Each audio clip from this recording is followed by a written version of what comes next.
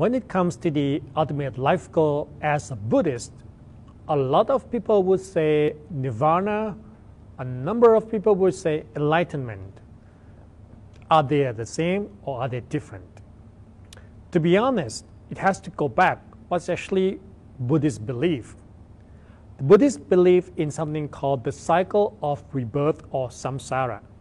This cycle that we are living in right now causes us to be reborn again and again and again. So after we born, we grow up, we started to develop desire. From desire, it becomes attachment, become lamentation. We grow into sufferings. We go aging, sickness, and death. And depends on what karma that we have accumulated in that particular life, which will result into how we are going to be reborn again, better or worse. But eventually, we're going to have to go to the same thing again from uh, growing up, growing desire, uh, love, fear, never different thing, aging, sickness, and die again. So this is actually the cycle that we have. We usually compare the cycle of rebirth to a prison.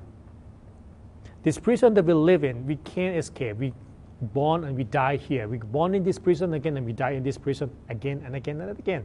So if you talk about what is the ultimate life goal of a Buddhist, the life that ultimate goal is to break out of this prison of rebirth.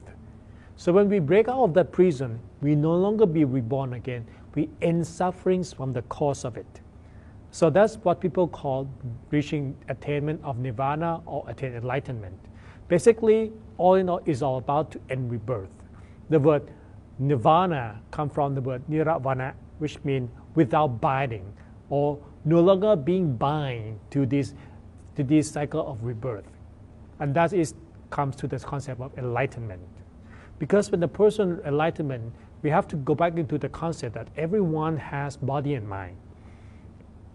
The body made composed of the four elements, earth, wind, water, fire.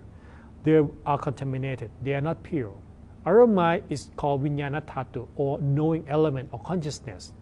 This element is also not pure. It is contaminated with something called kilesa or defilements from tanha, lopa, tosa, moha, desire, craving, greed, hatred, jealousy, ego, delusion. So these things kept missing up our mind and generate negative thoughts.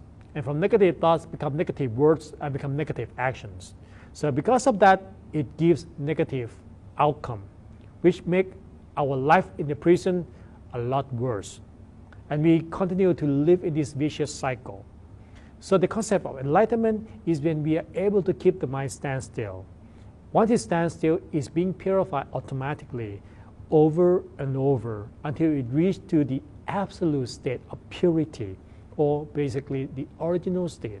And that is the mind when it can really reach the enlightenment and become one with the Dhamma that we have within ourselves. That true knowledge, that true nature, also called Dhamma, it already exists within ourselves. But it is so pure. And in order to reach it, mind has to be as pure as the Dhamma until we become one with each other. So that's what it means by attainment of enlightenment. And because when the mind reaches the Dhamma and stay there permanently, there is no more contaminations, there is no more defilements, because it's like light always on. So there is no place for shadow to appear. And that when a person passes from this body, then it goes to the state of nirvana. So that's why this is the ultimate life goal of a Buddhist. How do we attain it? To attain this part of the enlightenment, it comes from practice of good deeds. Basically, start from dana, sila, pavana, or generosity, keeping self-discipline, practicing uh, mental development or meditation. The first two is all about life. Everything that we do generate positive and negative outcome. So at least in this life, we try to cultivate as many good karma as we can because at least it will help our life in the future to be a lot better and make our life for the practice become a lot easier. At the same time, while we developing these positive actions from generosity, from refraining ourselves to self-discipline, we are keeping our defilements or, or the negative contamination, contamination under control. At least it no longer has influence over my mind and my decision making. At least when I buy something because I need it, not because I, I want it. So that's the difference. So when we started to take control of the mind, and then we are able to also reduce the amount of defilements that we manifested. And then when we started to practice more meditation or practice mental development, it gets purer and purer over time. But of course, normally after we open our eyes, we start to yell at each other, we gossip behind people back, we start to do something bad again, and that is normal. So that's why a person who reaches the state of enlightenment is when they are there permanently. So generosity, keeping precept, and practice of meditation.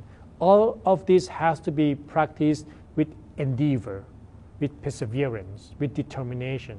It's not like, oh, let's say every birthday I will be generous. I do the charity once, and another 364 days of the year I be so messed up. It doesn't really work that way. If a person aims to reach that goal, to be to, to reach to reach that life goal of enlightenment, at least they should start by cultivating this one by one. However, we may not be able to reach enlightenment in this life. Then what should I do? What can I do? So that is also coming from another teaching, which can be summarized and break, broken down into that there are three life goals that we can pursue. Number one, let's call it goal on earth. When we are born, we want to be wealthy, we want to look, we want to look good, we want to be strong and healthy, we want to have lots of good friends, and we want to be famous, right? We want to have all these good things. We want to be beautiful. We all want this. This doesn't come easily. It depends on past karma or past action. And that means at least I want to achieve this, this goal on earth, these basic goals that I have in this life and future life in this way, the physical goal.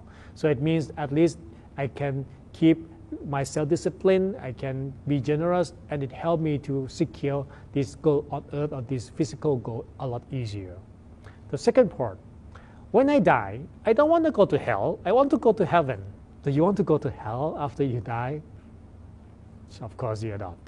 Nobody wants to go to hell. Everybody wants to go to heaven. So at least the second goal is that if I die, I will reach the state of heaven. Of course, even though heaven is just a temporary state, but it's good and it's a lot better than going to hell for temporarily. So to go to heaven is also come from the practice as a person, as a human being, that what do we do, how, what karma do we cultivate, and that will be the accumulation of energy that will help us to be in heaven.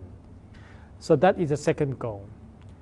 A lot of time people tend to focus only on these two goals, go on earth and go in the sky or go to heaven.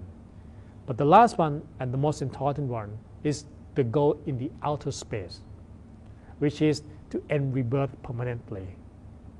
So at least right now, each day that you live in your life, take a little look, reflection on your life how do you spend your time to achieve the three goals? Because now that we know we have the goal to pursue, then it's a, the matter of how do we achieve that goal. Do we, do we really devote ourselves, put an effort into achieving those goals? Or I still playing games all day, checking Facebook and get jealous over people post the whole time, get depressed about life that I don't achieve as good as others. Or we emphasize on how I can improve myself to pursue one goal at a time, whether it's going to be goal on earth, in the sky, or in the outer space. And that is important of setting goal. Now that if now that everybody set their goal already, it's a matter of doing it commitment. One thing at a time that we develop that sense of commitment. If you can do that little task, it will help you to achieve the major task.